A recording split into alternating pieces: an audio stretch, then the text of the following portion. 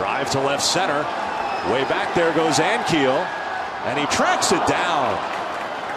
Rick Ankiel taking an extra base hit away from Nick Evans. Nice play in deep left center by the Nationals center fielder. One hit and a pickoff. Nobody left.